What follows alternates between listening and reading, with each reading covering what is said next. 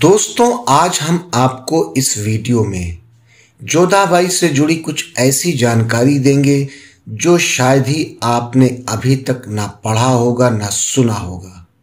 ये दिलचस्प जानकारी हमने कुछ इतिहास के पन्नों से बटोर कर आपके सामने लाने की कोशिश किया है।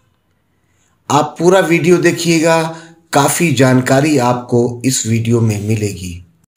अगर आपने इतिहास की किताबों को नहीं पढ़ा है, या फिर आपकी इतिहास में कोई दिलचस्पी नहीं रही है, लेकिन अकबर का नाम लेते ही आपके जहन में जोधा अकबर की एक तस्वीर सामने नज़र आ जाती है। क्योंकि जोधा अकबर इतिहास में एक ऐसी चर्चित जोड़ी है, जो विवादों में भी रही है और जिसकी चर्चा किसी न किसी बहाने होती ही रही है। आज हम इस वीडियो में आपको एक ऐसी ही जानकारी देने जा रहे हैं। हाल में ही प्रकाशित एक किताब, Allah Akbar understanding the great Mughal in today's India के लेखक मणि मधु एस शर्मा ने अपनी किताब में कुछ ऐसी ही जानकारी पेश की है। उनके मुताबिक अकबर की पत्नी का नाम हीर कुंवर यानी हरकाबाई था। जो आमेर की राजकुमारी थी। राजस्थान में आमेर एक छोटी रियासत हुआ करती थी, जहाँ सत्ता का संघर्ष जारी था। आमेर के राजा भारमल कछवाहा और उनके भाई पूरनमल के बीच काफ़ी लंबे वक्त से संघर्ष चल रहा था। पूरनमल को मुगल गवर्नर मिर्ज़ा शरफुद्दीन का समर्थन हासिल था। ऐसे में अकबर से राजा भारमल ने मदद मांगी और फिर सत्ता हासिल कर अपनी बेटी हरकाबाई की शादी अकबर से करवा दी। अकबर से जब हरकाबाई की शादी हुई तो वो महज बीस साल की थी।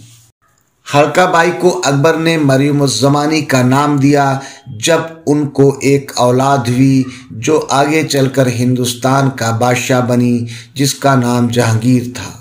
हरकाबाई ने अकबर के सामने भी कभी हिंदू धर्म को नहीं छोड़ा और पूरी तरह से हिंदू धर्म का पालन करती रही। वो अकबर की एकमात्र गैर मुस्लिम पत्नी थी, जिन्होंने अपने मज़हब को नहीं बदला।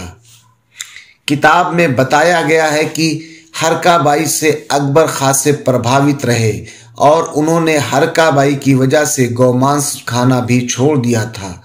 यहाँ तक कि दरबारियों के भी गौमांस खाने पर प्रतिबंध लगा दिया था। उस वक्त के इतिहासकार बदायूनी ने भी लिखा है कि अकबर का हिंदुओं के साथ होने के कारण उन्होंने गौमांस पर प्रतिबंध लगा दिया था। यहाँ तक कि उन्होंने लहसुन और प्याज खाने पर भी प्रतिबंध लगा दिया था। हरकाबाई का रसूख मुगल दरबार में अकबर के वक्त भी था और अकबर की मौत के बाद भी वो कम नहीं हुआ। अकबर की मौत के बाद उनके बेटे जहांगीर ने उनका शाही वजीफा दोगुना कर दिया था। हरकाबाई के पास बारह हज़ार पुरुष घोड़सवारों की सेना की कमान भी थी। यहाँ तक हरकाबाई जहांगीर के दरबार के चार खास सदस्यों में भी शामिल थी। उस वक्त नील मसाले और दूसरी चीज़ों का कारोबार मक्का भेज कर किया जाता था। 1613 ईस्वी में एक बार पुर्तगालियों ने हरकाबाई के जहाज़ रहीमी को रोका और उस पर कब्जा कर लिया। तो जहांगीर इस घटना से आग बबूला हो गया और उसने पुर्तगालियों के साथ कारोबार को बंद कर दिया। और कई दूसरी सहूलतें जिसमें वजीफा शामिल था, उसको भी रोक दिया। यही नहीं, आगरा में बने चर्च पर भी जहांगीर ने ताला लगवा दिया। हरकाबाई के साथ हुई नाफरमानी का बदला जहांगीर ने लिया। दमन में पुर्तगालियों को घेर कर बुरी तरह से नुकसान पहुँचाया। हरकाबाई जिसका नाम आज इतिहास के पन्नों में जोधाबाई के नाम से कैद है, राजस्थान की वो राजकुमारी थी जो ज़िंदगी भर अपनी शर्तों पे जीती रही और मौत के बाद भी अपनी शर्तों पे रही। हरकाबाई ने 1623 ईस्वी में दुनिया को अलविदा कह दिया। उनकी इच्छा के मुताबिक उनकी कब्र, अकबर की कब्र के पास ही बनाई गई जोधाबाई का मकबरा सिकंदरा में आज भी मौजूद है, जहाँ पर काफ़ी संख्या में सैलानी उनके मकबरे को देखने जाते हैं। जोधाबाई का मकबरा मुगलिया शैली का एक बेहतरीन उदाहरण भी है। दोस्तों, आज हमने जोधाबाई से जुड़ी कुछ अहम जानकारी इस वीडियो में आपसे साझा की।